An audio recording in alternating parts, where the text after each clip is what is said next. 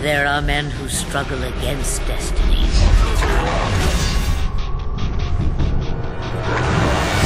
Only to have it swallow them whole.